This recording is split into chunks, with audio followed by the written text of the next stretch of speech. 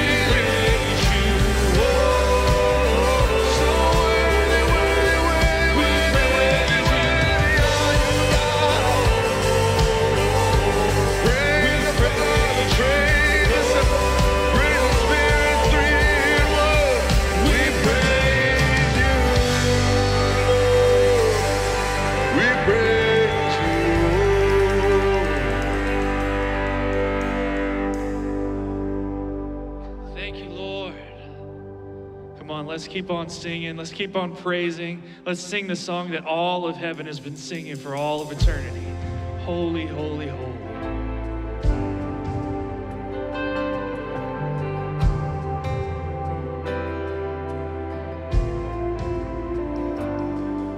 A thousand generations falling down in worship to sing the song of ages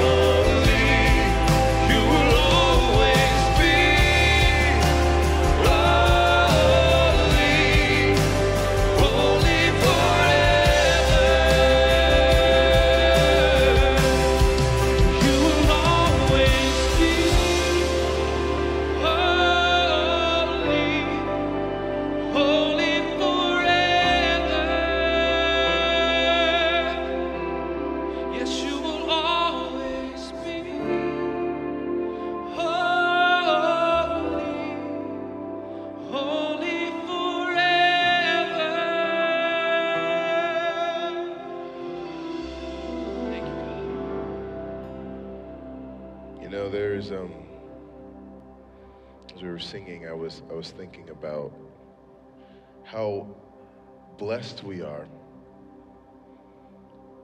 to serve a holy God, holy forever since before time began, and He'll move on through time being forever holy. And maybe for some of us we know what holiness means, maybe for some of us we don't. But holiness can't have anything to do with sin. It's like trying to mix oil and, and water, like they just can't, they cannot be. We believe that we are sin, sinners, but saved by the grace of God through the blood of Jesus, through the cross of Christ. And I was thinking just how beautiful it is that a holy God who can have nothing to do with sin would be so kind invite us into his family, invite us into his into his presence despite our sin by making a way through Jesus. Us being in this room today, I always want to talk against apathy. This is not just a privilege to live in a country where we can do this, but this is a privilege that a holy God had make a way for you and I to be here when if our hearts are truly filled with gratitude, then we sound different, then we live different, then we look different, then we walk through these doors different. So what I want to do is I want to encourage us right now with just to close our eyes. And right now, just think of one thing, just one thing you are thankful for. Life is hard. I get it. But God is good. God is kind. Inviting you and me and us together to a moment to give Him the praise He deserves. He is holy forever. We want to praise Him, not because we have to, but because we are grateful for what He has done and who He is.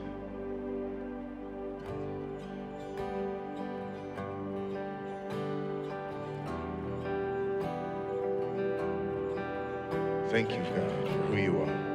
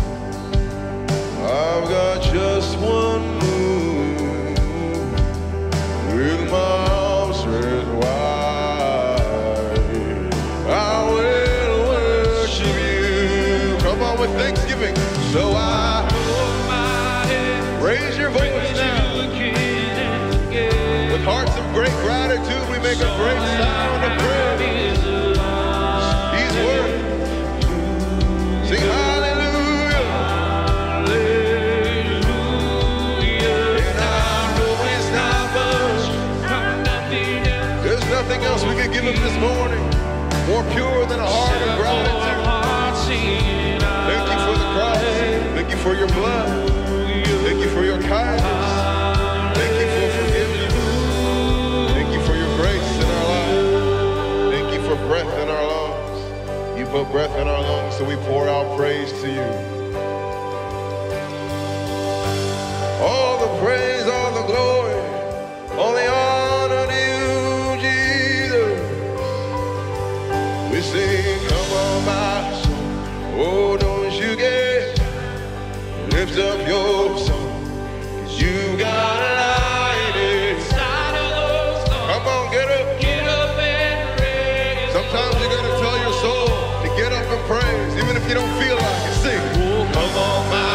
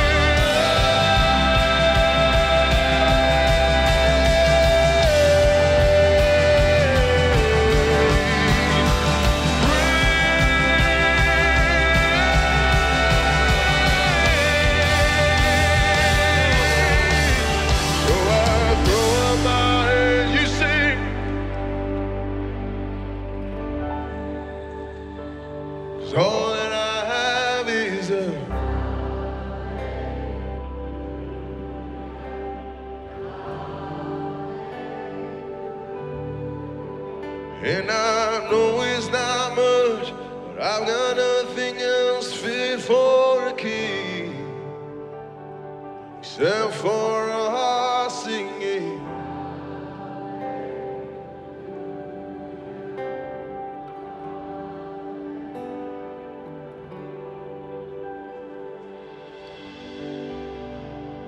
It's all we have this morning. I pray that the gratitude that we have in considering all you have done for us would motivate us to be present, fully present in this moment, and giving you the honor and the attention that you deserve. In Jesus' name we pray. Amen. What a blessing it is to uh, just hear the voices all over this room as we, we come together each week and we sing praises to the King of Kings, Lord of Lords, and it's just, it's just a wonderful thing and privilege that we get to do, and we have the freedom to come and worship the one true King. So we're so glad that you are here this morning. If you maybe you've been visiting with us and we haven't made a connection with you, we would love to connect with you right after the service for just a couple of minutes. Give you a gift as a way of saying thank you for being with us this morning, taking some of your morning out to come and worship with us. Also to answer any questions that you may have, and if you are online or on TV from the beach or the mountains or in your living room, we're so glad that you carved out part of your morning to tune in and be with us as well. Well, one of the things that is very important to us here at Owensboro Christian Church is community. And we have an event that is actually happening today that you don't have to sign up for, but it, it's Cookout at the Creek and it's at Yellow Creek Park, and it's from 5 to 7 this afternoon. We have a catered meal, we have live music. We've reserved the entire park uh, for our church gathering, and the, and the pavilion that we use is right next to the spray park. So the kids can come out there, they can get wet, you can eat a bunch of food and enjoy that community and get to know other people here at our church. We do have a pickleball tournament, and we also have a cornhole tournament. The only kicker is if you want to play in the tournament, you have to sign up by 1 p.m. today. So we have to shut down the registration online or on the app. So if you want to play, we would love for you to be a part, but we want to make sure that we have the brackets ready to go when everyone gets there this afternoon. Another way to get plugged in here at Owensboro Christian Church is through membership pathway. So maybe maybe you've been coming for a long time, or maybe you've just been coming here recently, and you're like, I want to know more about the church. I want to get plugged in. I want to know what opportunities there are to serve here at OCC. Uh, that is on August the 25th, and it is during our 9:15 service. This service, so you could come membership pathway, and then you could attend the 10:45 service. We do ask that you uh, sign up on the app or on the website, but just a great connect point. It's casual. They have juice, coffee, and donuts, and just an opportunity for you to really find out what is going on here at OCC. We are so glad that Scott is back this morning, and uh, he has got a wonderful message for you as we kick off our new series called Home Away from Home. So grab your Bible or your Bible app at this time.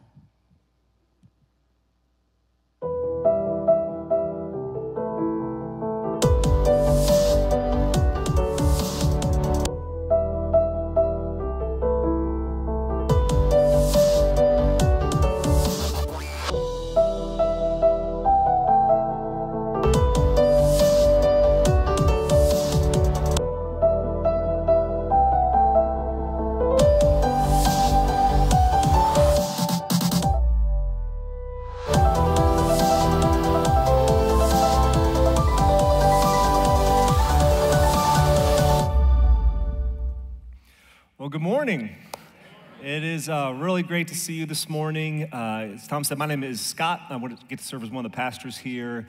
And if this is your first weekend ever at Owensboro Christian Church, I want to extend a special welcome to you. If you've been with us for the past uh, few weeks for the first time, I have not. Uh, each summer, uh, I take just a, a brief study break. I've been doing that since I arrived in 2013. This year, uh, we spent a few days in Indiana with family. We did take a week of vacation uh, down at Panama City Beach, which was the first time my boys had ever seen the ocean. So that was cool to see that through the lens of a, a six year old and a two year old. Backed into a palm tree while I was there. And apart from that, and the uh, following insurance claim, it was a wonderful, uh, wonderful trip. Uh, apart from that time, you know, we were in Owensboro, and you know, a lot of, a lot of reading, a lot of planning and praying uh, for, the, for the future is how I spent my, my time. And I, I want to thank you as a church for that time. That is good for me as a leader. That's good for us as a church because this is a shared leadership. It's not about any one person. And we have a lot of great teachers here. And didn't Tom Harrigan and John Bales do a great job finishing up Fruits of the Spirit series?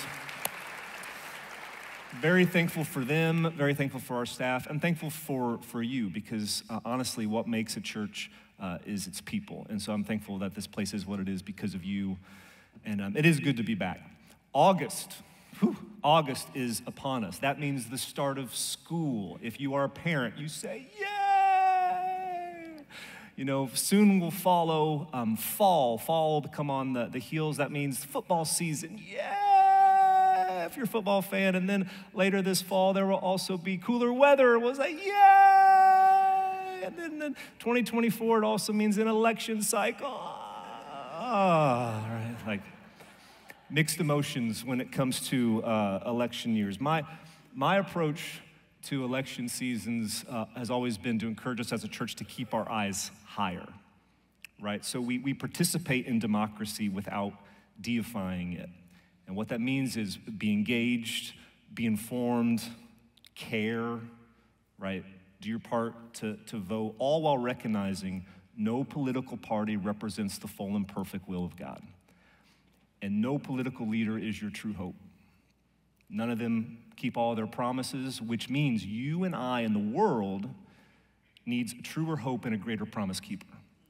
And that's what we find in Jesus Christ. He's the King of kings and Lord of lords, to whom one day every knee will bow in heaven, on earth, and under the earth to the glory of God the Father. Amen?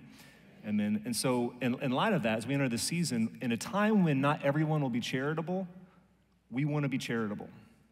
In a time when not everybody will be loving, we want to be loving even when we disagree with others or even when we disagree among ourselves. And so, in that spirit, what we're going to do over the next few weeks, not all fall, but for the next few weeks, is we're going to look at the New Testament letter of First Peter, and also we're going to parallel that with some highlights from the life of Daniel. So we have, we have New Testament and Old Testament. We have epistle, like a letter written to a New Testament church, and we have an historical narrative um, from the Bible, Daniel's life. Peter gives us some really helpful guidance for navigating uh, an increasingly confusing world. Daniel puts a lot of those principles into practice. So, so Peter is prescribing for the church. Daniel, although he came several hundred years prior, um, he is practicing. And so both of those books alone are very, very helpful for us. But taken together, I pray these two books will give us a nice path for walking through um, what could be a contentious season in our country or in our world, doing so in a way that honors the Lord. And I want to start this morning in Daniel. Uh, we're going to be in Daniel chapter 2. If you have a Bible or a Bible app, that's where we're going to begin. We'll look in Daniel chapter 1 um, next week. I'm doing it a little bit out of order. But the book of Daniel begins with the people of Judah. So that's God's people falling to a king named Nebuchadnezzar and then being taken as exiles to live in a nation called Babylon. Uh, Babylon is essentially um, modern day Iraq, and so they're taken from Israel to Babylon. Nebuchadnezzar's victory would have been all over the news of the day. You know, Babylon and its gods have defeated Israel and its God. And for all intents and purposes, it would have seemed to the naked eye pretty obvious that God's people had been defeated and that God's kingdom had fallen. But in Daniel chapter 2, Nebuchadnezzar has a dream. It's a terrifying dream, which eventually changes the way that he thinks about um, the God of the Bible and thinks about God's, um, we might call God's eternal kingdom, along with the way he thinks about his own rule and his own national kingdom. And Daniel chapter 2 should do something similar for us. Daniel 2 should change the way we think about temporary national kingdoms and rulers in relationship to the kingdom of God. And the Hebrew language in Daniel 2, I know unless you're Artie Marks, very few of us speak Hebrew, but the Hebrew in, in Daniel 2 is very, very interesting. It literally says the dream knocked the wind out of the king. I don't know if you've ever had a dream where you just have woken up like, kind of woken up with a gasp. I had one um, not last night, but two nights ago when my wife reached over at three in the morning and grabbed my face. She reached over. Um, I, I, was in the midst of a dream. I don't know if the, I don't know how that worked. If I just if it all happened just very quick, but I dreamt I was at a summer camp. I was helping just take care of a group of kids, sleeping like in different bunks, and that someone needed me, and they woke me up by grabbing my face. And it turns out it was my wife. I assumed that I was snoring, so I just kind of muffed and rolled over. And then when I brought it up in the morning, she was like, Oh dear, did I grab your face? She said she was trying to rescue, one, in her dream, rescue one of the kids. She reached out to grab the kids and just happened to be my face. So um, I, I, woke up with a great gasp. You probably have done something similar. Nebuchadnezzar um, experiences this as well. Knocked the wind out of him. This dream was like a punch in the gut. And it troubled him so much that he had, he had two requests. He, he gathered together all the, the magicians, the enchanters, the astrologers in the land, gave them two requests. He said, One, tell me my dream. And then two, give me its interpretation. Now, as you can imagine, they did not like this very much. They said, O king, live forever. You are awesome and majestic. They said, How about you tell us your dream, and then we will give you a fitting interpretation? They figure if they hear the content of the dream, they can go you know, counsel their symbology charts and their astrology books, and they can come up with an interpretation that the king would accept. But Nebuchadnezzar is on to their, you know, how all of this works, and so he says, no. He goes, you tell me my dream, then you give me the interpretation, and I know that you, you are legit. And when they cannot do this, he is livid. And so we pick up in Daniel chapter 2, verse 12. It says this it says that because of this, the king was angry and very furious and he commanded that all the wise men of Babylon be destroyed. So, off with their heads, he's going to, to kill the wise men. So the decree went out, and the wise men were about to be killed, and they sought Daniel and his companions to kill them. Now, if you never uh, read Daniel before, that may not you know, make entire sense who all these people are. Daniel was one of the people of Judah. He'd been taken to live in Babylon. So he He's not exactly one of the king's wise men, but he has been educated in the Babylonian system. We'll read about that next week in Daniel 1. And so he, he's kind of part of this, this group in the king's court. And so Daniel is about to be killed alongside with all of these wise men. But Daniel replied with prudence and discretion to Arioch, the captain of the king's guard, who had gone out to kill the wise men of Babylon. He declared to Arioch, the king's captain, Why is the decree of the king so urgent? He's trying to buy some time. Then Arioch made the matter known to Daniel, and Daniel went in and requested the king to appoint him a time that he might show the interpretation to the king. So we get the sense that Daniel sort of bust into the king's quarters. Uh, this was a very gutsy move by Daniel. You don't just um, don't just charge in on a king to request an appointment. Uh, the king, for his um, for his strength, could have had Daniel's head on a platter on the spot. But if you think about it, Daniel is going to be killed uh, anyway, so there's not, a, there's not a whole lot of risk, I guess, to Daniel's action. The only thing that stopped the king from killing Daniel right there and then was that Daniel had already proven his worth. Daniel, over time, had earned the king's respect, and we'll, we'll talk about that um, in the midst of this series. But for now, it's enough to note that when you demonstrate to people in positions of authority, it could be your boss, uh, it could be a teacher, it could be you know, a community leader, it could be a parent or a grandparent. If, if you demonstrate to someone in authority that you are a person of character, that you work hard, that you are trustworthy, when you then go to talk with them about important matters or make a difficult request of them, they will be much more open to listen. And so Daniel, being this sort of person, goes to Nebuchadnezzar. Nebuchadnezzar obliges Daniel's request for a time in which he can explain the dream. And as soon as this happened, Daniel and his friends start to, to pray. and they beg that the God of the universe will, will give them clarity as to what the king dreamed and what it means. And God answers their prayer by revealing to them these two things. And this is where the story starts to get really, really interesting. I want to invite you to stand with me as I read Daniel 2, starting in verse 26. We're going to get a sense here of the dream and its meaning. Uh, this, is, this is sort of a strange uh, passage of scripture, but we're standing out of respect for God's word. We want to receive what God has for us, even through something that may seem a little bit confusing at first, but we'll talk about it. Daniel 2, verse 26 The king declared to Daniel, whose name was Belteshazzar, they had changed Daniel's name, Are you able to make known to me the dream that I have seen and its interpretation? Daniel answered the king and said, I love this. No wise men, enchanters, magicians, or astrologers can show to the king the mystery that the king has asked. But there is a God in heaven who reveals mysteries, and he has made known to King Nebuchadnezzar what will be in the latter days. Your dream and the visions of your head as you lay in bed are these. He says in verse 31 You saw, O king, and behold, a great image. This image, mighty and of exceeding brightness, stood before you, and its appearance was frightening. The head of this image was fine gold, its chest and arms of silver, its middle and thighs of bronze, its legs of iron, its feet partly of iron and partly of clay. As you look, a stone was cut out by no human hand. We're going to come back to that in a few minutes. Verse 34 Stone cut out by no human hand, and it struck the image on its feet of iron and clay and broke them in pieces. Then the iron, the clay, the bronze, the silver, and the gold all together were broken in pieces and became like the chaff of the summer threshing floors, and the wind carried them away, so that not a trace of them could be found. But the stone that struck the image became a great mountain and filled the whole earth. This was the dream. Now we will tell the king its interpretation. You, O king, the king of kings, to whom the God of heaven has given the kingdom, the power, and the might and the glory, and in whose hand he has given wherever they dwell the children of man, the beasts of the field, and the birds of the heavens, making you rule over them all. You are the head of gold. Another kingdom inferior to you shall arise after you, and yet a third kingdom of bronze which shall rule over all the earth.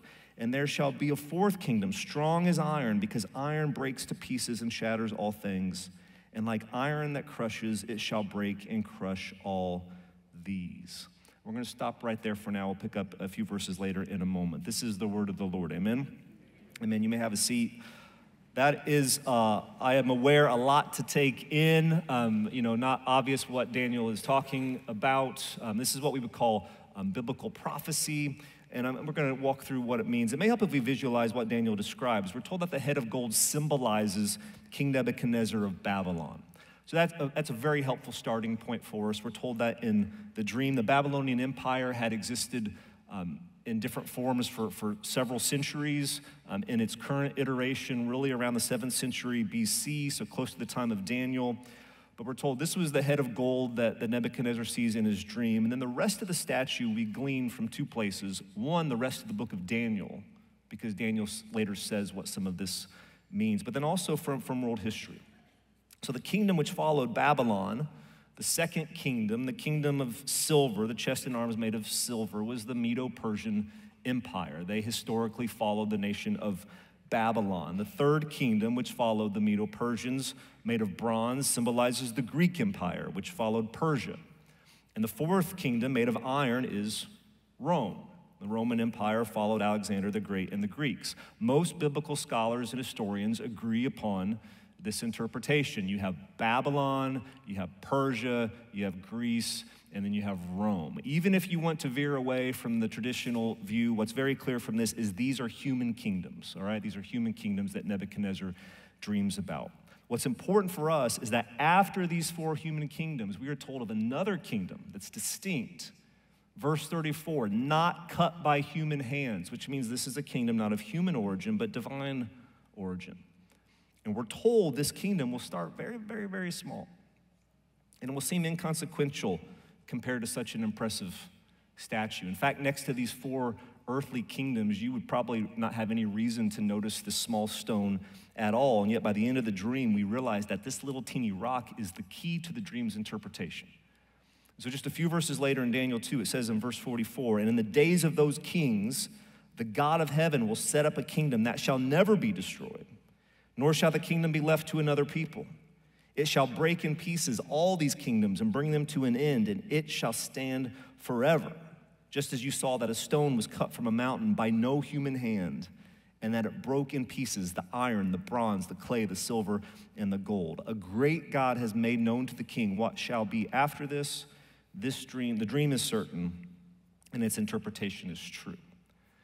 Now, we were just going to kind of cut through all of this to kind of get to the heart um, of this message and then into First Peter. Here is the message or the truth for us God's kingdom will often seem small, insignificant, and non threatening in the shadow of man made kingdoms. But the kingdom of God will outlast every empire history has known. Alexander the Great built an impressive kingdom in just 13 years, only to die of illness and then have his kingdom spread among four lesser leaders who drove it all into the ground. Hitler's Third Reich um, was brutally terrifying, but it lasted a paltry 12 years. My cars last longer than that. I drive them longer. I'm not trying to make light of what he did. What, what, what, what he and um, his Reich did was, was, was awful destruction, but it all fell after a few hundred, or after um, it fell as quickly as it rose. Rome thought itself to be indestructible, but it fell after only a few hundred years.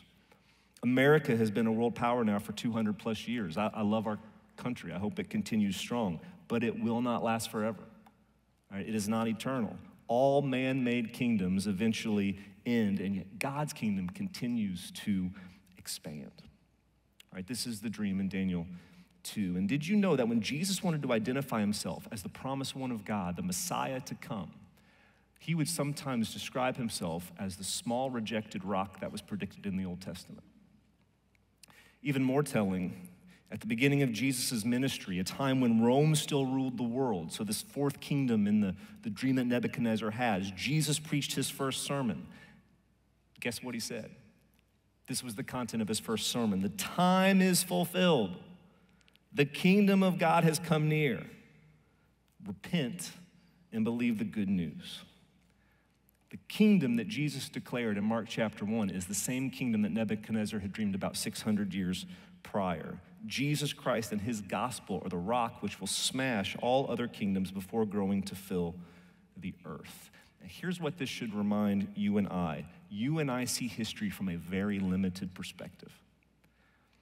We become fixated with what's taking place right, right here in front of our face at home, work, school, certainly in our news feed and what's going on in the world. Um, God sees history from the perspective of eternity. He has the big picture in mind. And the, the Bible word we would use for this is the word sovereign. Sovereign is simply a way of saying that although life has its ups and downs and twists and turns, confusing and scary moments, God remains in control.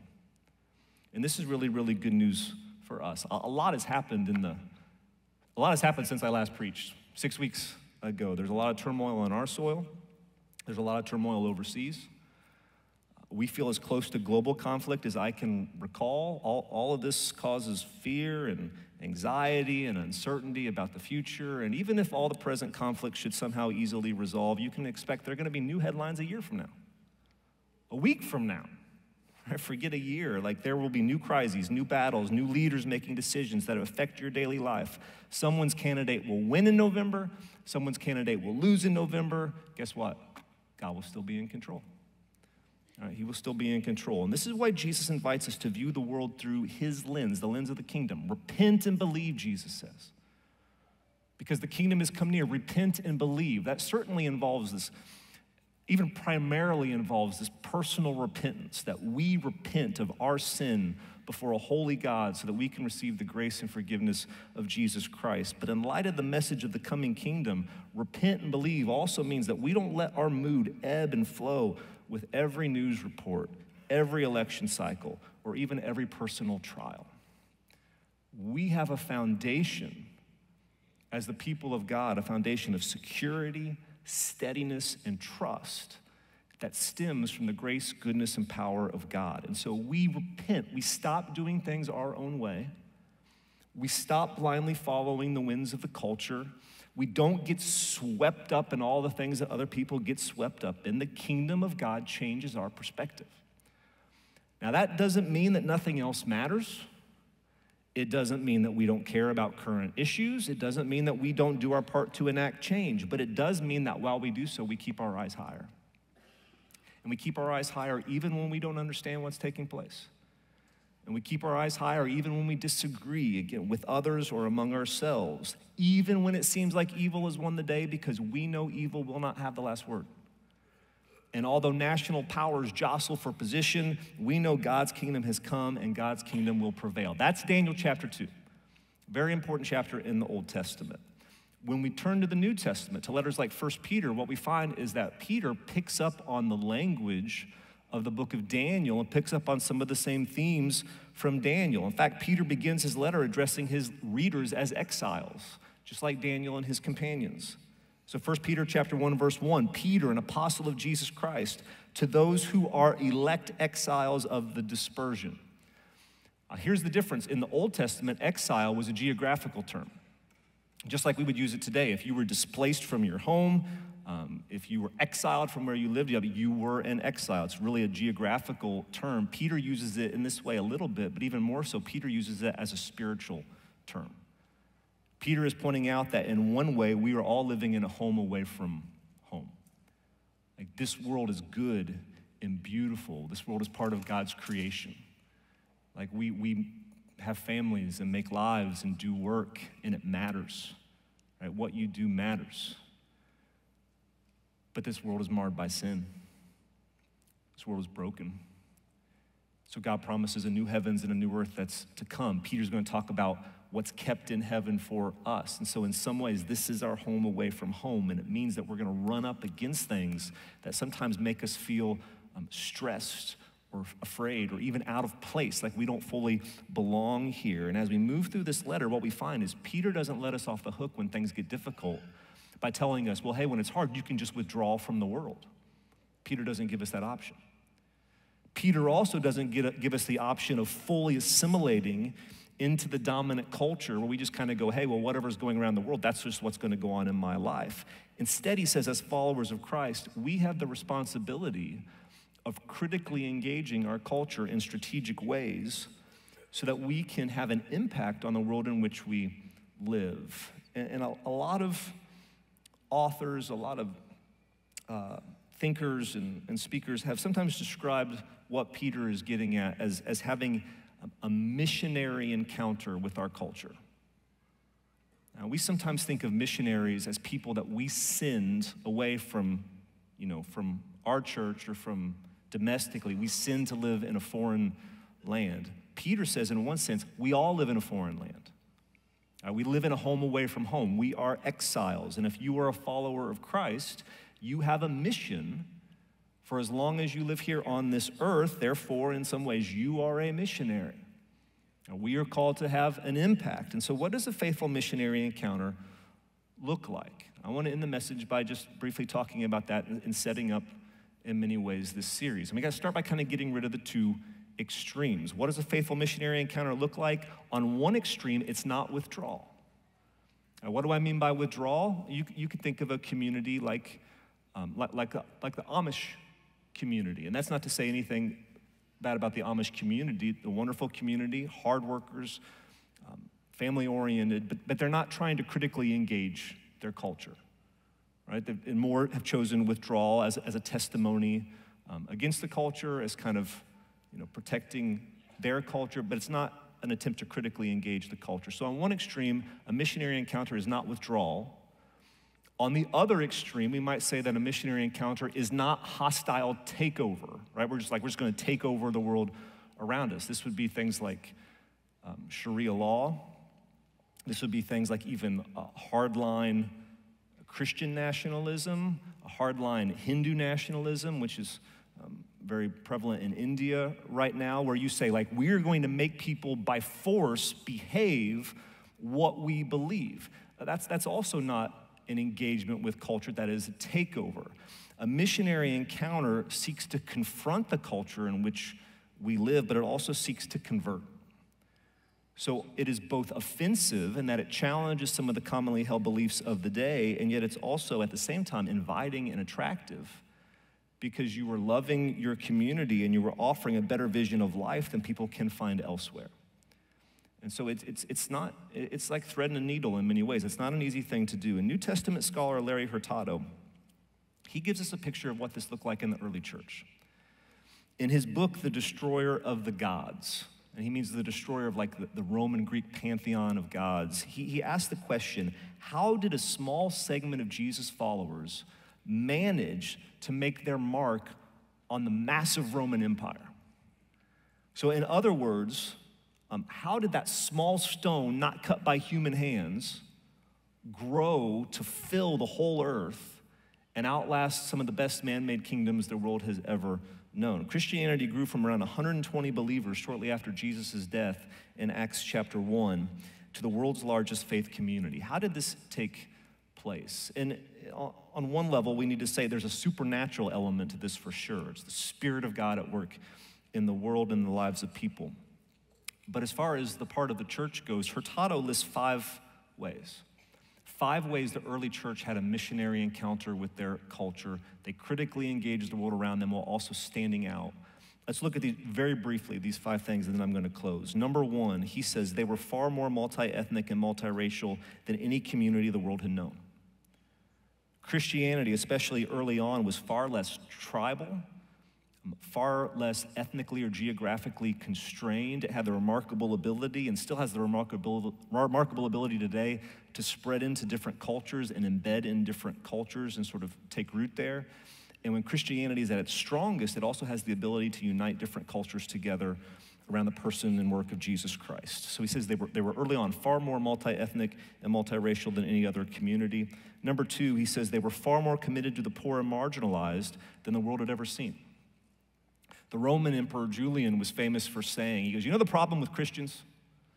You know why they're growing so quickly? He says, They don't only care for their own poor, they care for our poor too. And it was that type of love and generosity of spirit that really made a mark on the Roman world and caused people to take notice. It grabbed their attention. So far more committed to the poor and marginalized. Number three, Hurtado says the early Christians, they were marked by non-retaliation and forgiveness.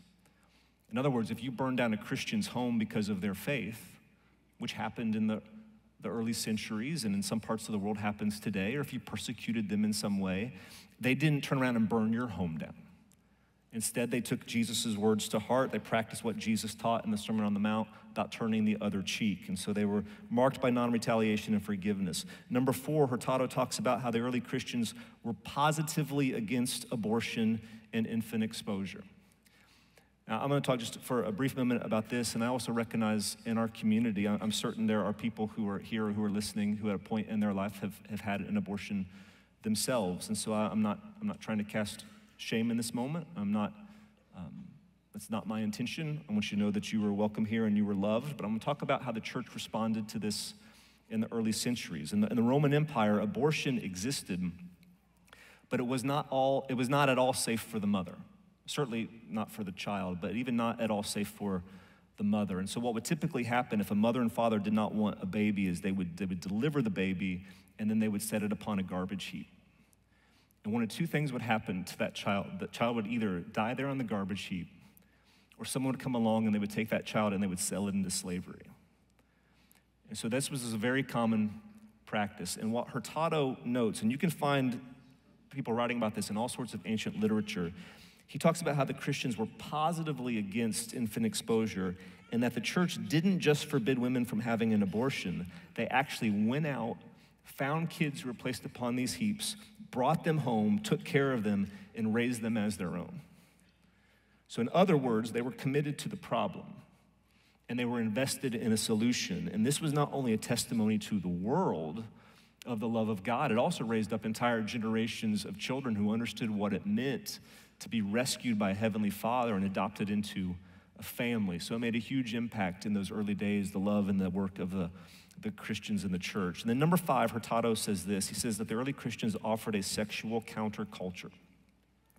The early church was far stricter in the area of sexual ethics than the world around them. And even though what they taught proved a whole lot stricter, um, the underlying vision and value of what sexuality is and what it, what it means to be a sexual being proved to be far more attractive.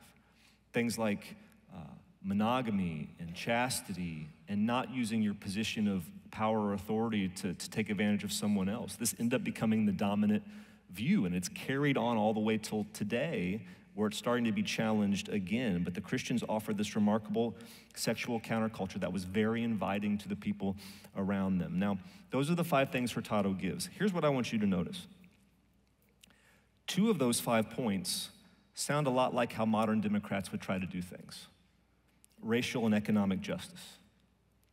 Two of the five sound a lot like how conservative Republicans would do things pro life and a tr- traditional sexual ethic. And the one on non retaliation and forgiveness, dare I say, doesn't sound much like either political party or a whole lot of politicians that I know. Here's the sober reality there are many Christians who would like to drop or be willing to drop the two that don't fit neatly into their party of choice. But here's where we have to fight to keep our eyes higher. And what we need to see is one of the best ways to demonstrate the truth of the gospel is to show that Jesus creates a people and Jesus creates a community that breaks through all the traditional human categories. That's how you have a, a missionary encounter and a witness to the world. And it's what, what Paul's talking about in Ephesians chapter 3 when he says God's purpose in all this was to use the church to display his wisdom in its rich variety to all the unseen rulers and authorities in the heavenly places. That's that witness. This was his eternal plan, which he carried out through Christ Jesus our Lord. And this type of citizenship, where our heavenly identity calls us to, to category breaking cultural engagement on this earth, this is really, really, really hard work. And it's often slow work.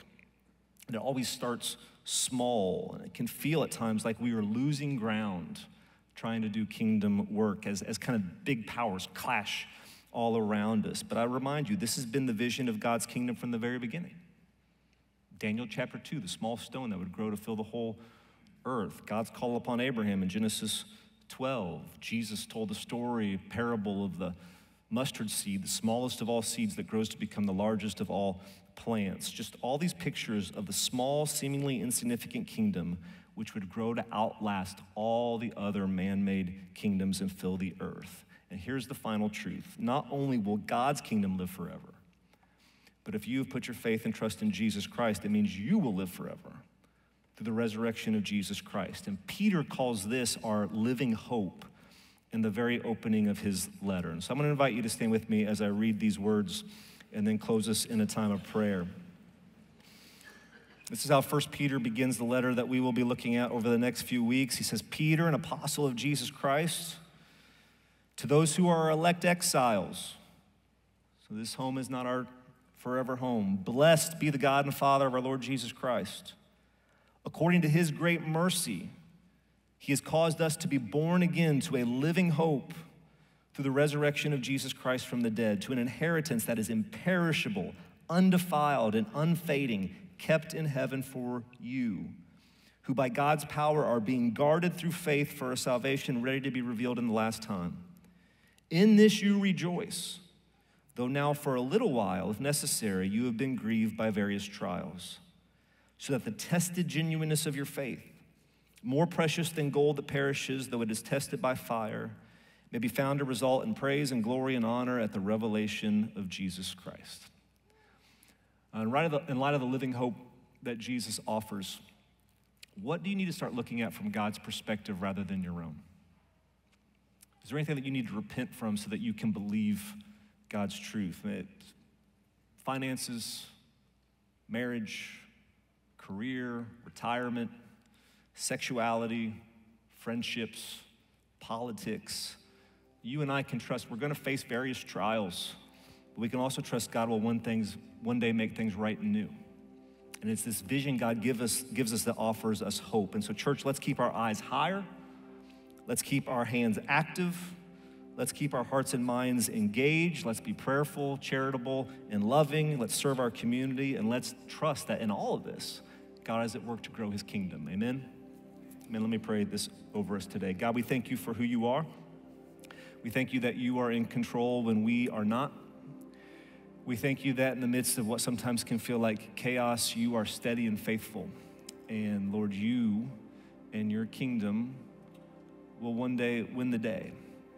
And this means that we um, don't get to withdraw and just sit on our hands. It also means that we don't have to try to do by force the things that only you can do. Help us to be faithful, faithfully engage with the world around us as we live out our faith in Jesus. And may his power be evident in our lives individually and collectively for your glory and for the benefit of our communities. We pray this in the holy and powerful name of Jesus. And all God's people said, Amen. We're going to have a time of response this morning, uh, like we do each week. Um, you know, we're going to sing, and today, if uh, if you just want to sing in response to God's word from a, from a deep place of gratitude for what God has done, I'd invite you to do that. Um, today, if you've got a burden on your heart, something you've been thinking about a lot, personal perhaps, for a friend, or even for for our country and world, and you just want to come um, release some of that at at the altar. I would invite you to do that. I'm going to be down here praying, so if you come, you're not going to be by yourself. And I would hope as a church, we'd be prayerful entering into this fall. And I, I hope that you'll join me in prayer today. Um, after we have the opportunity to respond, we'll take the Lord's Supper together.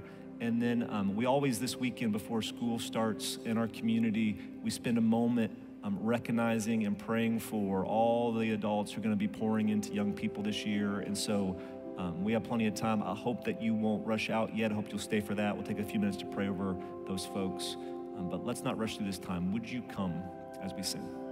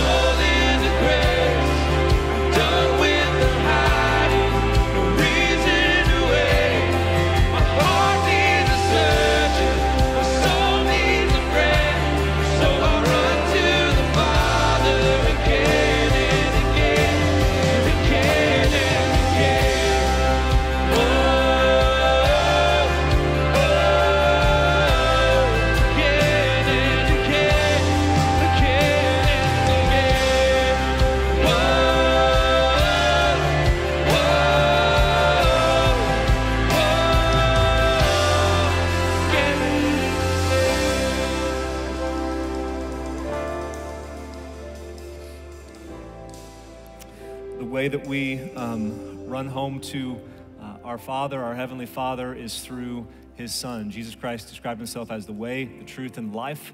And the way that we are reconnected with our um, Creator, uh, a holy and perfect God, which we sang about earlier, is through the grace and forgiveness that Jesus offers um, on the cross. He took our sin on the cross. Uh, he went to the grave with him. He rose on the third day. He's defeated uh, death and defeated anything that could get its hold on us in this life. And so, even though some of that we believe by faith now, we believe that one day um, we will be with him forever as we were meant to be. And if you believe that this is true, um, that the cross is central to our faith, and Jesus is the Son of God, I would invite you to take the bread this morning and to break and to eat and remember Jesus' body broken for you, his, his church. Let's break and eat together.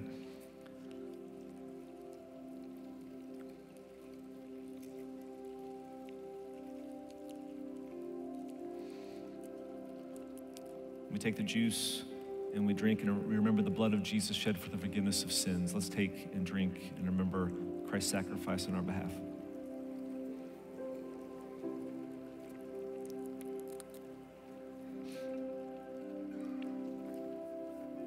If you would, um, grab a seat just, just for a, a moment. We would typically um, dismiss right around this time. I want to take just a moment. Uh, next hour, we'll celebrate um, a baptism at 1045. I want to let you know about that. Also, want to let you know afterward if you've got a decision on your heart, you want to talk with someone about a relationship with Jesus, or you could just use some prayer. I'll be down front afterward with some pastors. We'd love to pray for you. Um, right now, we like to take this moment uh, heading into the, the first week of school in our community to acknowledge um, all those folks who pour into the next generation um, and invest in them uh, in our educational system, both, both public schools, um, private schools, even if you're part of like a homeschool co op and you're involved in leadership of that in some way, um, we would love to acknowledge you this morning. And I, I, I, had prepared to be an educator before I felt called to ministry. And so, uh, I, you know, I have a heart for educators to begin with, but this is also you, whether you're a teacher, coach, um, administrator, principal, uh, work in the cafeteria, bus driver, aide in the classroom. There are kids who will walk into your room and into your space who may not have anybody else who believe in them. Um, they may not know that anyone else sees them. They may not know that they matter, certainly to other people, but even to even to God. And you have been put in their life to, to teach them math and science and English and history, and like those those things are beautiful and good. But also to remind them that they're not alone. There are people who care about them and love them. And right now, you probably have a lot of optimism for a new year. I imagine it's an exciting time. That will probably be, that balloon might be popped by Thursday. Who knows how that will go? Um, that's okay, right? The most important callings in life, and you certainly have a calling, uh, they're not easy callings. And so, this prayer for you also is today just a reminder that when it gets difficult, you know, not to give up because you don't know the ripple effects that you will have. And we'll talk about this a little bit more next week in Daniel 1 because we see some of that in Daniel's life. But we want to acknowledge and pray for you today. So if you serve in any way, any capacity with young people in our schools, private, public, homeschool co-op, would you just stand for a moment? We want to, one, thank you, acknowledge you for what you do, and we also want to pray for you. So would you stand with us? Go ahead and do so.